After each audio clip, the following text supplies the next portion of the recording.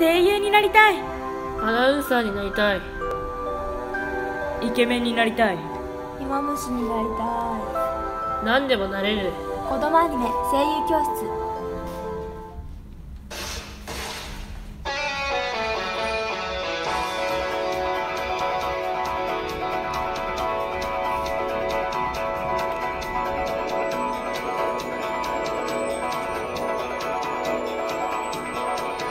俺んとこ来ないか？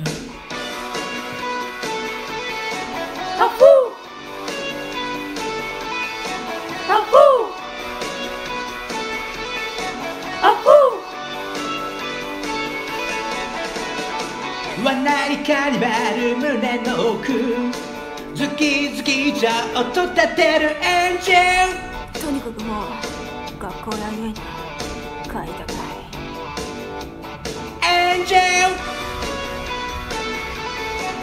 ハッフーハッフーハッフ退屈に怯えてたのさ夜の闇に逃げ込んだエンジンー俺たちまるで捨て猫みたい Angel, can you Mr. Baby, Mr. Master Baby? Can you Mr. Baby, Mr. Master Baby? Can you Mr. Baby, Mr. Master Baby? Can you Mr. Baby, するまばたきもせずに俺たちは光の渦に巻き込まれてく雲の隙間に照らせ青白き月を照らせ。星が瞬くディスタン寂しがり屋たちの伝説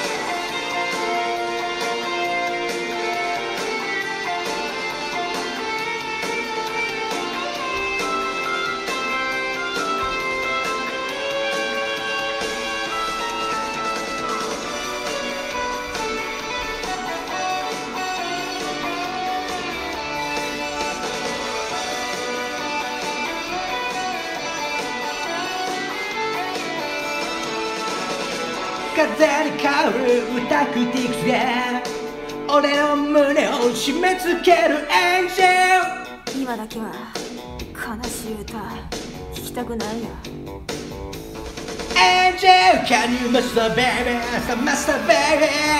Can you master baby, master master baby? Can you master baby, master be my baby? Can you master baby, saran,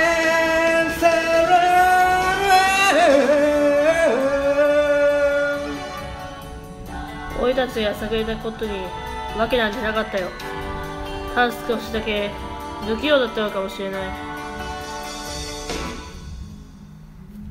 恋しているのさ叶えれり返してるのさ。やがて海が見える。寂しがり屋たちの伝説さはないかにあの頃の俺たち闇の中じゃなきゃ夢見られなかったあのミラーボールみたいに明るくてまん丸なお月さんに憧れただけさ行こうぜピリオドの向こうへもうすぐ海が見える寂しがり屋たちの伝説さはないかにもファファはないかにもほら Let's get free「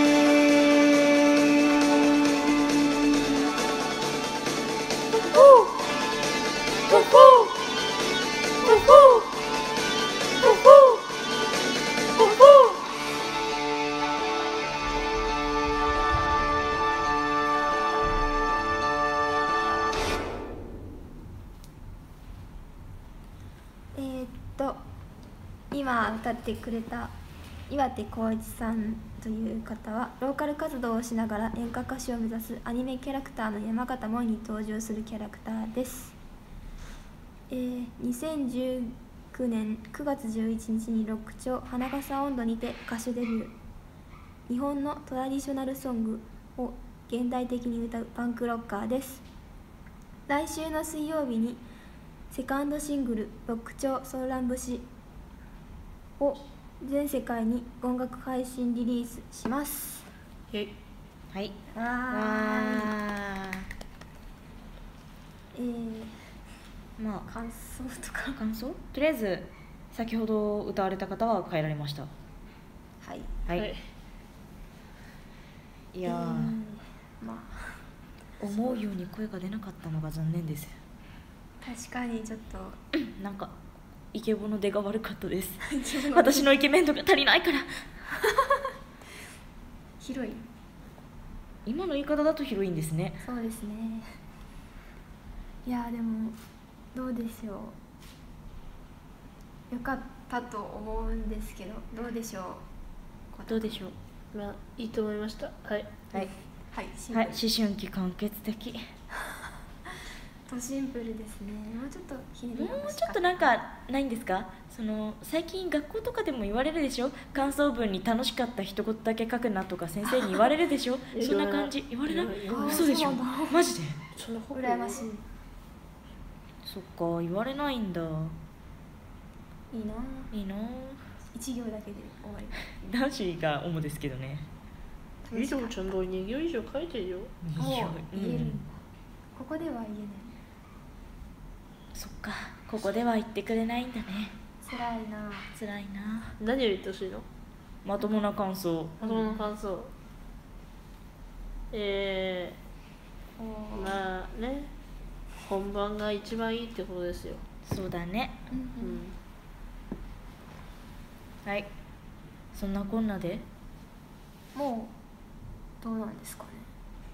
フリートークですね。フリートークですかもう冬ですよもう冬。もう寒くて仕方ありませんね。ようもう朝あれお布団から出るのが地獄なんですよね。あの自分の今の周りの毛布と周りの空気の温度差がすごすぎて。